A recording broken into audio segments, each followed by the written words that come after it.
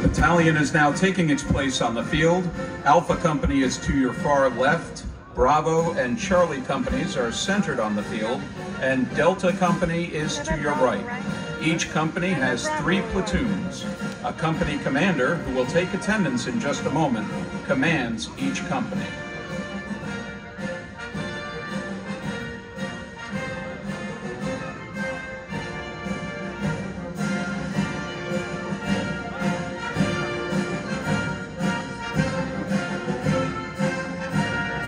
Before attendance is taken and reported to the chain of command, each platoon commander will formally align his or her platoon.